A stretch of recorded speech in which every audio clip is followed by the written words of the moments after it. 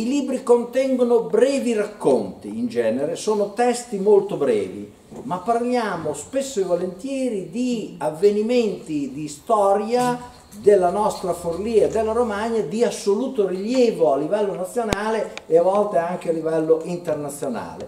Poi mettiamo in questi volumi, inseriamo in questi volumi una storia un po' più minuta, un po' più caratteristica, come ad esempio il fatto che per tanti anni e ancora adesso a Cusercoli, dove un tempo il Partito Comunista prendeva oltre il 75% dei voti, la stragrande maggioranza dei cittadini non andava in chiesa, ma che cosa produceva? Produceva i rosari, eh? realizzava, costruiva i rosari e c'è, abbiamo riportato un articolo del 1952 di Don Lorenzo Bedeschi che dice il parroco del posto non vede molti suoi concittadini in chiesa alla messa, però si deve accontentare del fatto no, che almeno creano lo strumento, cioè il rosario, per pregare Dio, la Madonna, eccetera, eccetera. Ecco, fatti un po' più minuti, ma che fotografano esattamente quello che succedeva a Cusercoli negli anni 50 e negli anni 60. Ma la storia più grande che abbiamo raccontato in questi libri, con, ripeto, testi molto brevi, sono per esempio, le storie sono per esempio l'arrivo in Romagna e in particolare a Monte Paolo di Dovadola nel 1221 di quello che diventerà Sant'Antonio da Padova. Ora, Sant'Antonio da Padova, che ancora oggi è insieme a San Francesco il, fra, il santo più venerato al mondo, no? ha avuto una vita a, a Dovadola, a Forlì, No? E questo lo dobbiamo sempre rimarcare, sempre mettere in evidenza, tant'è vero che a Lisbona, nella cattedrale, città natale di eh, Sant'Antonio da Padova, c'è una lapide che lo ricordo come Sant'Antonio di Forlì. Perché? Perché nel 1221 arrivò a Monte Paolo di Dovadola sulla eh, diciamo così, sulla parte del, del, del, del, monte che dà verso la Samoggia, verso Faenza, dove c'era un piccolo romitorio. Erano presenti probabilmente 5 o 6 frati, in una situazione di estrema povertà, in una situazione di, proprio di, eh, come posso dire, isolamento totale. No?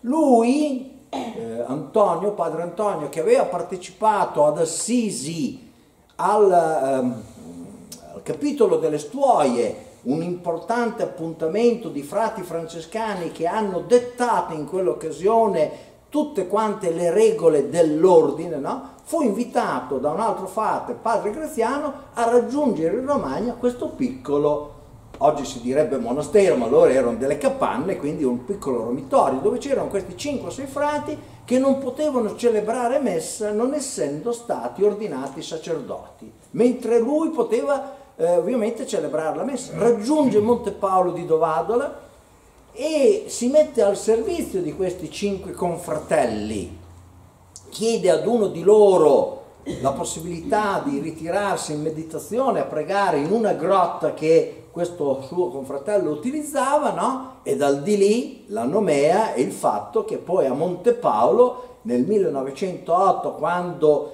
il, il, il, il, monastero che nel frattempo era stato creato, la chiesa che era stata creata, spazzati via da una, eh, eh, ehm, da una frana, da una grande frana, no, sono stati ricostruiti sulla sommità del monte e sulla sommità del monte o quasi a poca distanza dalla chiesa hanno ricostruito anche la grotta utilizzando addirittura dei pezzi della grotta precedente.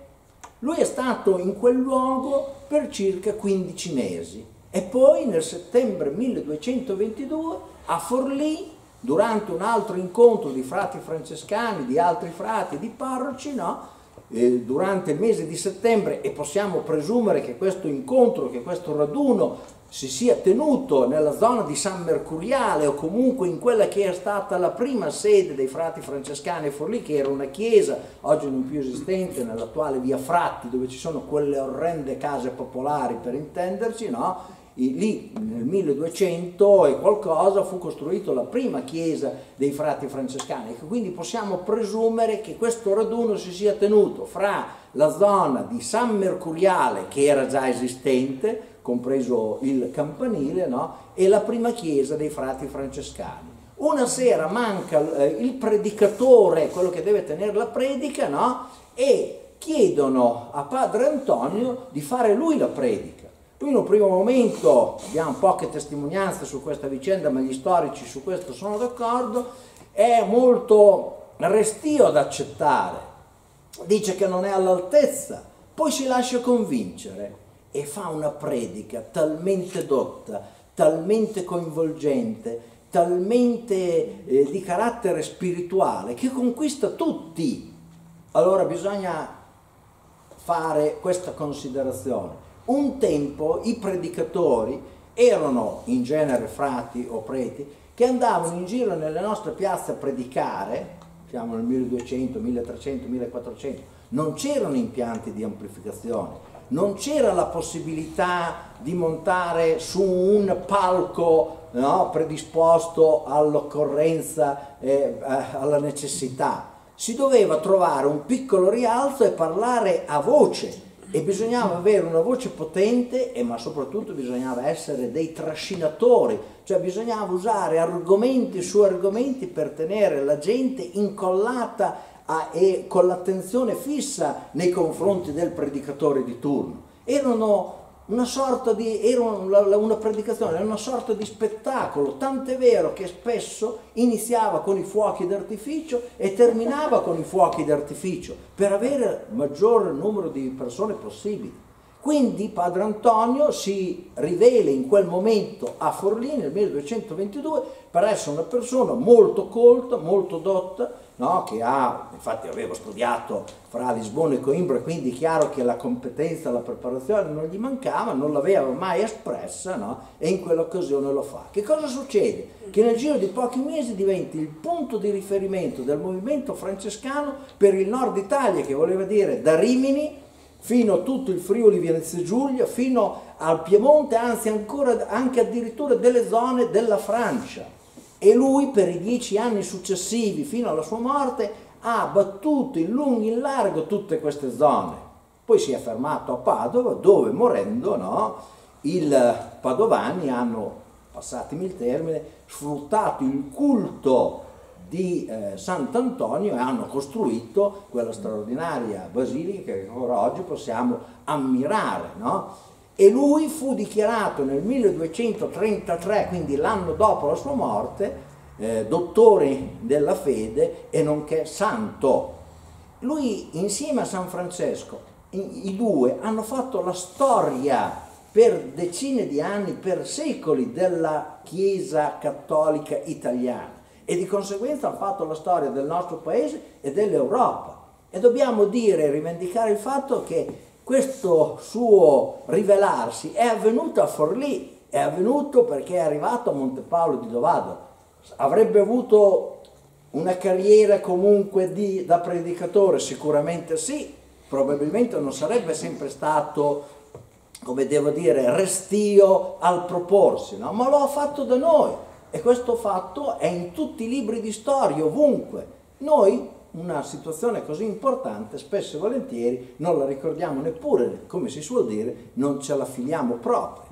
Così come qualche decennio dopo abbiamo dato ospitalità a Dante Alighieri, scusatemi se è poco, il padre della nostra lingua, della lingua italiana, il poeta, lo scrittore, che ancora oggi, dopo 700 anni, pensate un po', 700 anni, in tutto il mondo unanimemente viene riconosciuto come uno degli scrittori, come uno dei poeti più grandi che siano mai esistiti, grazie a quello straordinario capolavoro che ha scritto, la commedia che noi chiamiamo la Divina Commedia. Ma quando lui non poté rientrare a Firenze nel 1302 perché era stato condannato a morte, chi è che gli ha dato ospitalità? Gli ha dato ospitalità i romagnoli, prima a San Benedetto in Alpe presso l'abbazia benedettina che esiste ancora oggi e che di recente è stata acquisita dal comune di Portico San Benedetto con l'intenzione di, di ancora una volta passate il tempo, di sfruttarla dal punto di vista turistico, no? ma lui è stato ospitato nel 1302. E poi successivamente dov'è che ha trovato ospitalità? L'ha trovata a Forlì, presso gli Ordelaffi, che allora avevano la propria casa nella zona dove oggi c'è Palazzo Albicini, dove c'è il circolo della Scran per intenderci, no? ed era quello il palazzo pubblico, il palazzo comunale, perché la famiglia Ordelaffi ha comandato su Forlì, ha retto le sorti della città di Forlì per oltre 300 anni. In quel periodo il signore della città era Scarpetto degli Ordelaffi e insieme a Dante Alighieri organizzano un esercito cappeggiato da Scarpetto Ordelaffi per tentare di ribaltare la situazione militare e politica di Firenze. Vengono sconfitti dall'esercito fiorentino che per ironia della sorte era comandato da, Fulce, da un Paolucci di Calvoli, forlivese, che era stato esiliato, esiliato dai, eh, eh, dagli Ordelaffi No? E quindi questo Fulceri di Calbori era, aveva proprio in odio la famiglia Ordelaffi, quindi ci ha messo anche del suo nel difendere Firenze e nello sconfiggere i forlivesi e i fiorentini che si erano aggregati a Dante per ribaltare la situazione a Firenze. Poi dopo Dante non ha avuto più la possibilità di pensare, di organizzare un esercito per rientrare in Firenze. Assolutamente, non c'è stata più nessun'altra occasione e ha trovato ospitalità, dato in giro a Verona, da altre parti, no? negli ultimi anni dove? A Ravenna, dove ha completato la stesura della commedia, ma per scrivere quei tre tomi, eh, l'inferno, il paradiso, il purgatorio, non ci ha messo un giorno, quindi sicuramente ha iniziato a scriverla qui da noi in città, poi l'ha conclusa a Ravenna e la stragrande maggioranza dei luoghi che descrive sono luoghi romagnoli, dalle pinete alle chiese bizantine di Ravenna e così via. E oltretutto metà dei personaggi che cita, che ricorda, sono romagnoli quasi tutti, a parte qualche santo, quasi tutti all'inferno, eh? che ce ne sia uno di Romagnolo in purgatorio e qualche santo, San Damiano per forza è in paradiso, ma tutti gli altri sono all'inferno sono, eppure erano stati generosi nei confronti di Dante avendolo accolto. Ecco, quindi in un capitolo parliamo anche di questo. E poi altro avvenimento straordinario, tra l'altro passato proprio di qui, sulla via Ravegnana, che allora non si chiamava così. Garibaldi. Garibaldi. 1849 il salvataggio di Giuseppe Garibaldi, quella che è stata chiamata la trafila garibaldina, cioè quando Garibaldi è costretto a fuggire da Roma insieme al suo esercito perché la Repubblica Romana fu soppressa dall'esercito borbonico, dall'esercito francese, dall'esercito austriaco, loro erano sì e no in 3.000 a difendere Roma, gli altri tutti quanti messi insieme erano 35.000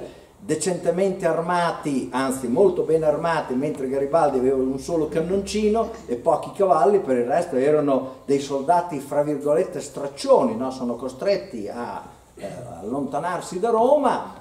In questo percorso per arrivare in Romagna si fermano a San Marino, in, a quel punto quelli che sono rimasti, erano poco più di 200, eh, Garibaldi dice loro che possono anche andare, ritornare alle proprie abitazioni, che non si sente di prendersi la responsabilità della loro vita, qualcuno resta con Garibaldi, arrivano a Cesenatico, eh? Sottraggono alcune barche, alcuni bragozzi e tentano di partire alla volta di Venezia dove i veneziani che si erano ribellati stanno ancora combattendo contro gli austriaci.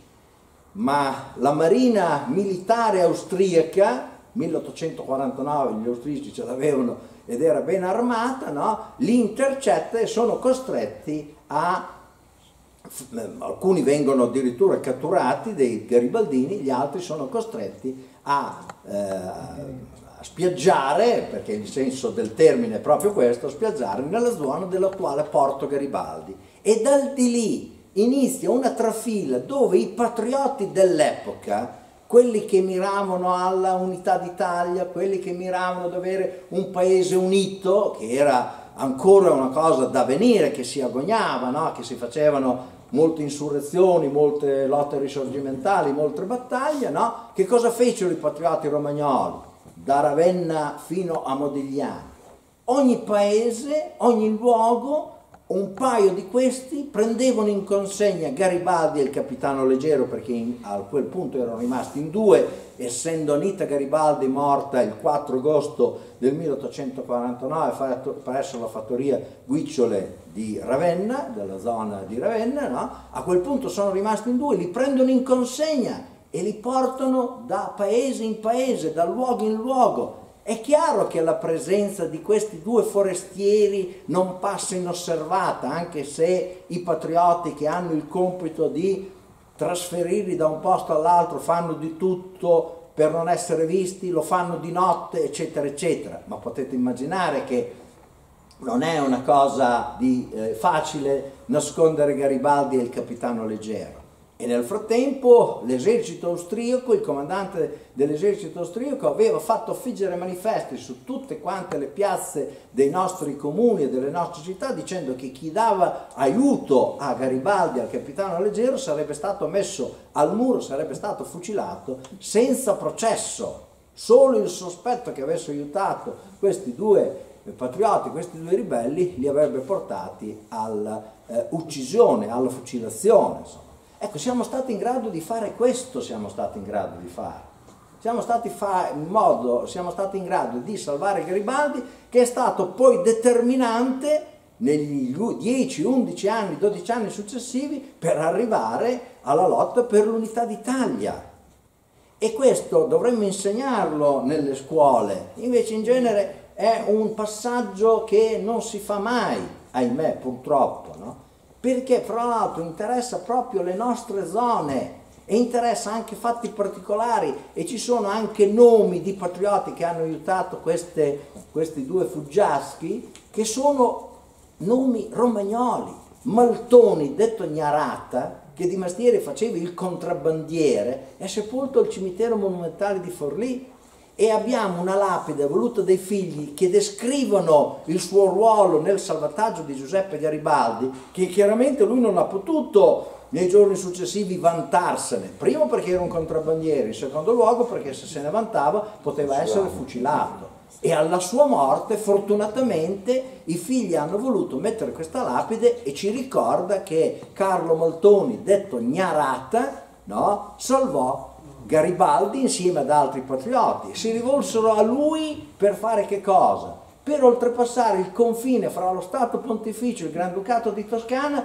che era posizionato nella zona di Ladino, nel podere Braga, oggi non a caso c'è la via Braga, subito dopo il, eh, il, il, il, bosco di Ladino per intenderci sulla sinistra, la prima strada che sale su, quella la via Braga, lì c'è un podere che si chiama Podere Braga, ecco, in quel posto, in quel luogo, correva il confine fra lo Stato Pontificio, dove Garibaldi era stato inseguito dai soldati austriaci per essere catturato, e dall'altra parte dove non è che potesse dire di essere in salvo, però il Granducato di Toscana tollerava di più la presenza di patrioti dello Stato Pontificio, no? ma soprattutto c'era un validissimo appoggio dall'altra parte che era Don Giovanni Verità, parroco modigliana, che si fece poi carico, carico di trasferire Garibaldi e eh, il capitano Leggero verso la Liguria, dal di lì riuscirono da, ad andare in Francia. Si salvarono, furono salvati e sono stati fondamentali per la nostra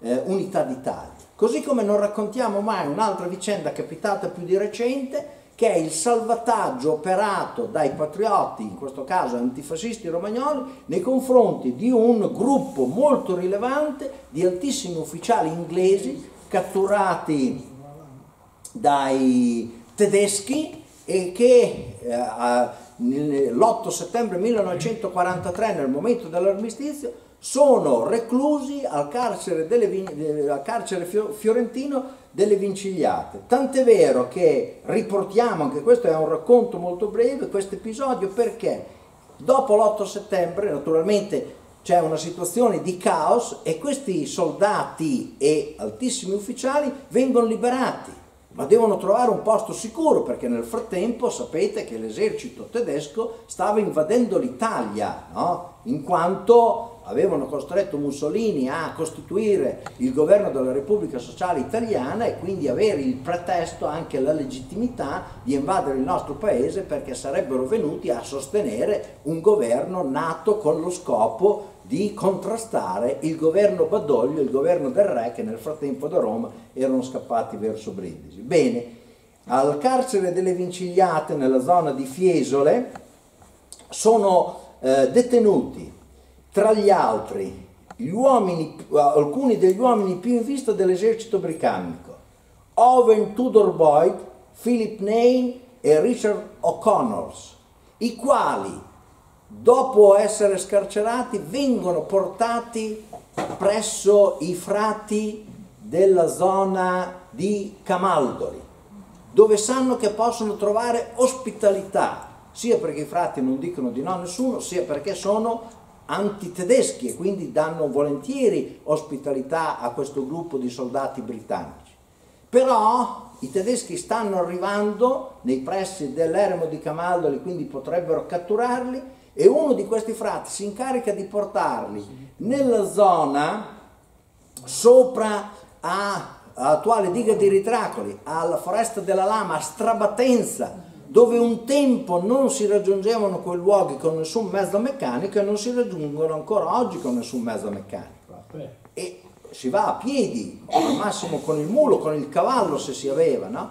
E quindi erano luoghi, fra virgolette, più sicuri, dove c'erano molte famiglie di contadini e abbiamo delle testimonianze eh, che dicono che hanno ospitato questi soldati e questi altissimi ufficiali a rischio ancora una volta della propria vita perché non ci arrivavano i tedeschi o i fascisti con i carri armati, le camionette eccetera, ma quando facevano i rastrellamenti che partivano in 500, in 1000, in 1500 a piedi e arrivavano anche nei posti più isolati, quindi rischiavano questi eh, mm, queste, queste, famiglie di essere eliminate, ma non solo fisicamente i componenti della famiglia, ma avrebbero bruciato le case, le stalle, avrebbero razziato tutto, cioè non sarebbe rimasto più niente. E uno di questi testimoni dice, noi perché l'abbiamo fatto? Perché c'era bisogno di dare una mano, noi siamo persone credenti e siamo disposti anche a rischiare pur di dare una mano a chi ha bisogno. Bene, questi mh, mm, eh, eh, ufficiali a Strabattenza, nella zona di Strabattenza, vengono raggiunti da Torquato Nanni, che era stato sindaco di Santa Sofia, da un giovane, giovanissimo ex ufficiale del, dell'esercito italiano, Bruno Vailati, che essendo nato ad Alessandria d'Egitto parlava correttamente l'inglese li raggiungono e Bruno Vailati dice io mi posso mettere a vostra disposizione, fare da intermediario fra voi e l'esercito britannico che sta risalendo la penisola, ma erano oltre Pescara. E infatti il generale O'Connor scrive una lettera e dice il l'attore della presente Bruno Vailati è un uomo di nostra fiducia, eh, viene presso di voi per organizzare il nostro rientro all'interno dell'esercito inglese. È una trafila incredibile, scritta in più libri perché tutte le cose non vanno mica per il verso giusto. E quando da Santa Sofia, da Strabatenza, devono essere trasferiti nella nostra riviera, quando si fermano qui a Cocolia, presso la casa degli Spazzoli, di Tonino Spazzoli in particolare, questi personaggi che erano in Inghilterra al vertice dell'esercito, che erano dei lord, che si faceva la verba total mateni nonostante non avessero la metta da barba per farselo, però pretendevano, lo usavano i coltelli, no? Perché? Perché tutte le mattine le, il, il, soldato inglese no? era obbligato a farsi, eh, insomma, premura della, della, della, della propria persona, no? e che quindi quando li trasferirono in queste zone in bicicletta erano riconoscibilissimi, cioè si vedevano a chilometri di distanza che non erano dei romagnoli, che non erano dei forlivesi, non erano dei ravennati. Corsero dei rischi incredibili, ma riuscirono a rientrare all'interno dell'esercito inglese, tant'è vero che il giorno dopo due di loro, O'Connors e Tudor, furono eh, portati con un aereo in Egitto eh, al Cairo dove era presente Churchill e andarono a pranzo insieme a Churchill e poi immediatamente ripresero possesso dei loro ruoli. Non a caso Philip Ney, generale salvato dai romagnoli, è stato quello che ha eh, ehm, guidato l'esercito inglese nel giorno della liberazione della nostra città. Perché? Perché un po' conosceva la zona e quindi diedero l'incarico loro di comandare l'ottava brigata britannica e soprattutto il battaglione della brigata, dell'ottava brigata britannica che ha liberato le nostre zone. Anche questi sono avvenimenti, sono fatti che hanno coinvolto decine, centinaia di, nostre, mm, eh, di nostri eh, mm, romagnoli, no? decine di famiglie hanno ospitato questi soldati inglesi. Da un certo momento in poi ce ne siamo, fra virgolette, dimenticati.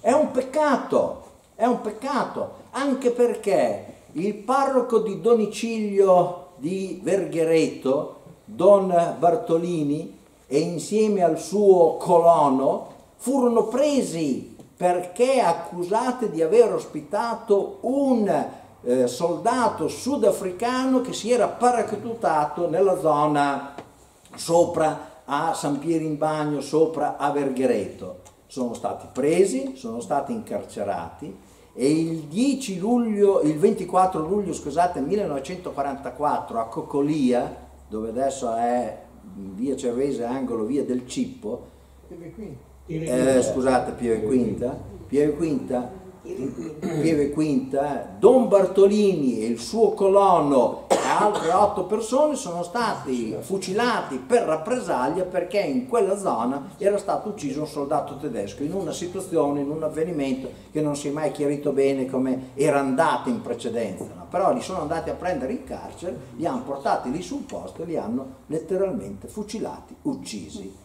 A dimostrazione che chi dava aiuto se ce n'era bisogno, rischiava, rischiava la propria vita, rischiava la pelle, come è avvenuto a diversi di loro. Ecco, adesso una prima parte di quello che contiene questi libri ve l'ho detta, adesso passo uh, ancora, eh, do la possibilità ancora a Giuseppe di fare altri due brani, poi vi dico qualcos'altro riguardo al tema della serata, cioè al uh, romagnolo e ai romagnoli. Prego, Tedaldo.